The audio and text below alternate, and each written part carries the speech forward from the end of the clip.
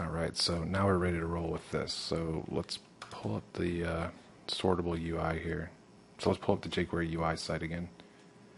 And again, this is all we need here. So just remember that and hop back over to Aptana.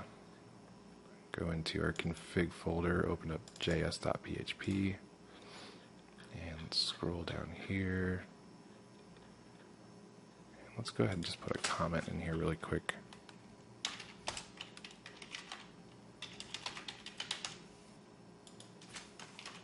There we go.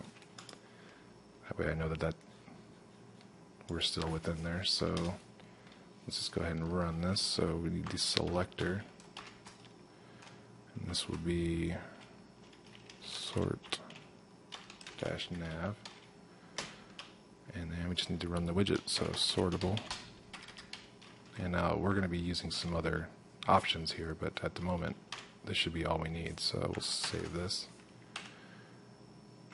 go back to our page and refresh. Sure enough, look at that. It's pretty cool. Now let's go ahead and style this just a little bit. So let's go over to Bootstrap and I'm going to look at list group. I think we'll go ahead and use this. So pretty sure we've already done one of these before. Basically, you just need the class of list group and then list group item for each one of the items here. So hop back over to Aptana. Uh, you can go ahead and close pages.php, go into navigation.php. After the ID, we'll do class list dash group. And then each one of these, do class list dash group dash item. And I'll just copy this. Make sure you grab that space also.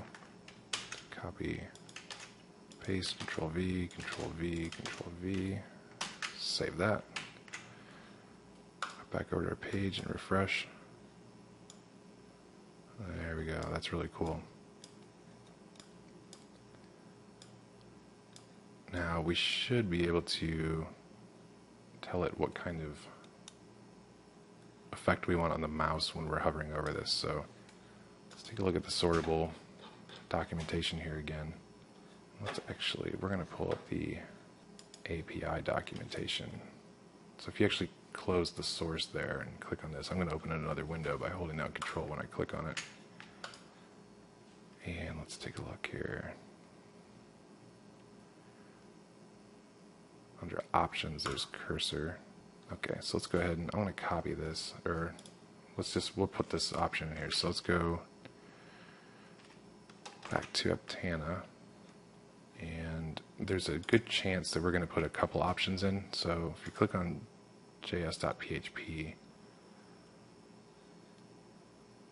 in here, for multiple options, we're going to want the brackets, uh, the curly ones, and we're just go ahead and enter.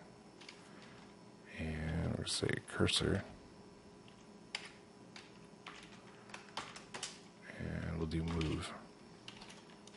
Now we don't need anything after this. If we're going to add another option we will need to do a comma and then another property. But right now we're just doing cursor. So let's save that and take a look. Refresh Now see, we broke it.